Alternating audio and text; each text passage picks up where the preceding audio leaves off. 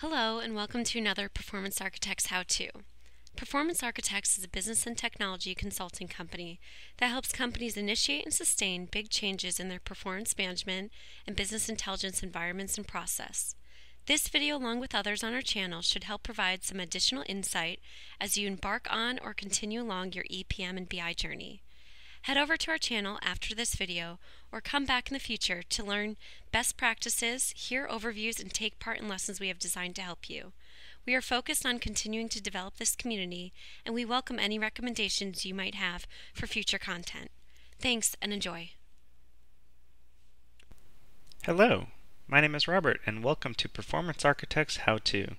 In this how-to, we will be discussing how to quickly and easily migrate and add new variables to an Essbase cube.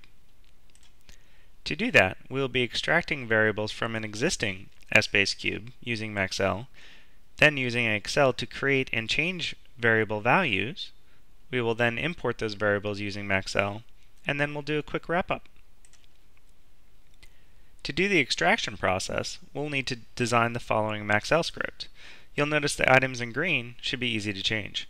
So we'll log into the server using the username and password that you have for your server, also designating that server. We'll go ahead and spool the output of the following command to a particular file, that way we can look at it later. The name of the command we're interested in running is display variable on database, and we'll reference a particular application and database. Then we'll go ahead and spool that off and log out. Some possible adjustments you may be interested in making are to display all the variables for a particular application, you would use the first option here, display variable on application, and then the application name. Or you could choose to display all the variables within the entire Essbase server. We will then use Excel to create and change those variable values.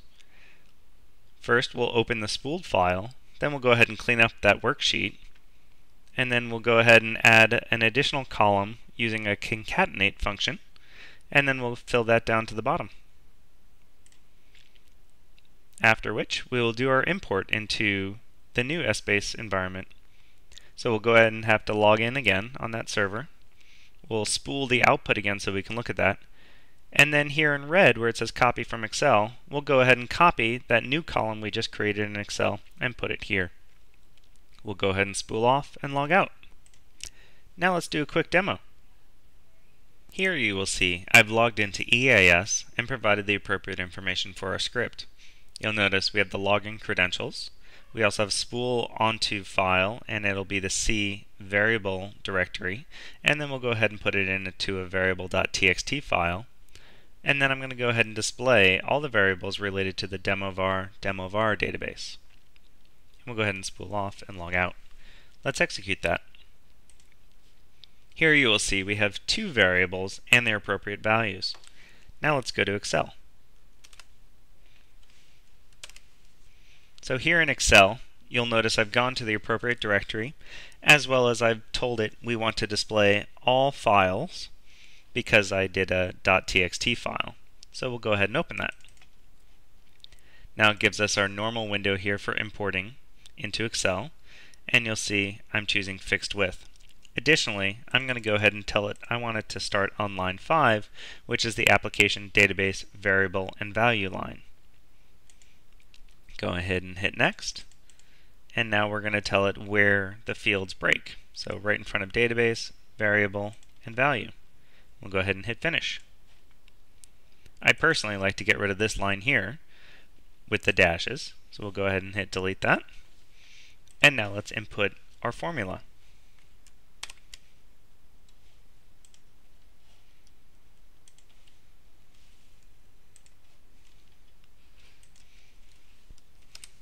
And there's our formula. Now this formula will add new variables. Since for the purposes of this demo, I actually want to change variables, what I will do here is I'm going to go ahead and change add variable to set and we will go ahead and fill that down. Additionally, I want to be changing these variables. Now it's going to be quarter 3 and the previous quarter will be quarter 2. There are our variables. Go ahead and copy those, our new MaxL script, and go back to MaxL.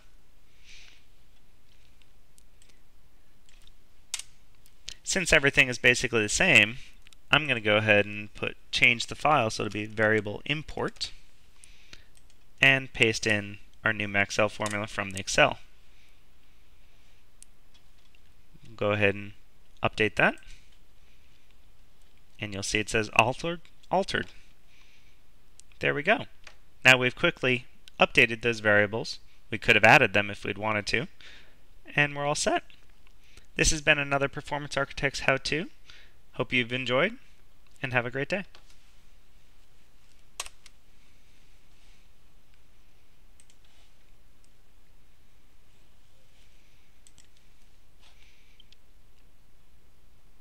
In this how-to, we discuss how to quickly change and update variables using MaxL and Excel to be able to migrate them from various Essbase cubes to other ones.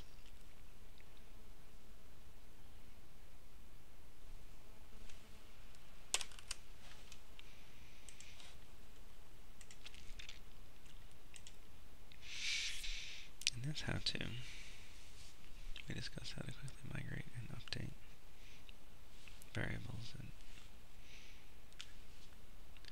in this how-to we discuss how to quickly migrate and update variables using Excel and MXL.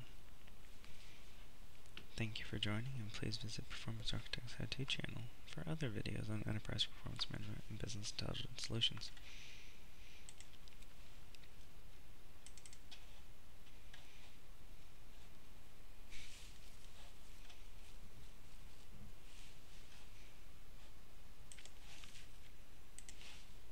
In this how-to, we discuss how to quickly and easily migrate variables from one Essbase database using MaxL and Excel to another. Thank you for joining, and please visit Performance Architects How-To channel in order to see other videos on enterprise performance management solutions as